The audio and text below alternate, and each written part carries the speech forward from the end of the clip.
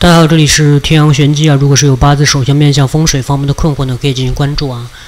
我们看这个伸出手掌啊，拇指啊跟四个手指之间的张开的角度非常的大，自然张开啊，一定是要自然张开。我们曾经有一期节目讲这个手自然的放在桌面上或者张放在大腿上看啊，自然的放在大这个这个平平整的这个物物体上看啊，就是哪个手指间的距离比较大啊，都是有不同的寓意的。啊，像这种情况，如果是大拇指跟这个食指间的张开角度非常大啊，说明有创造力，喜欢自由发挥啊，个人性格比较独立自主啊，不喜欢被约束。拇指跟四指之间的张开角度比较小的话啊，个性比较沉默，甚至带有一点这个依赖性啊，比较保守，缺乏创造力等等。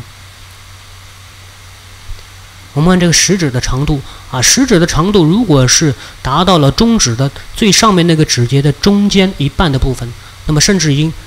到达了上面这个超过了这个二分之一处啊，那个长度就比较长，比较长，比较长的人呢，就是表现出一种咄咄逼人的态势啊，非常的这个对权力的欲望追求非常的重啊。相反，如果是这个比较短的话，没有超过这个第一指节，第一个最上面这个指节，啊，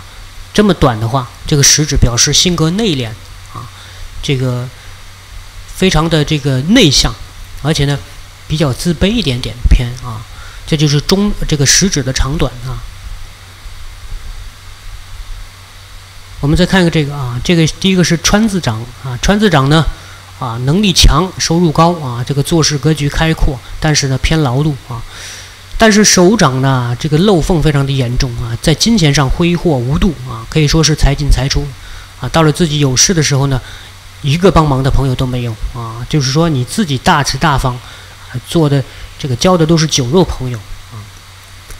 好了，有关这个手相当中的一些特点就分享到这里，这里还是天阳玄机。如果是有困惑，可以进行关注啊。我们下期再见。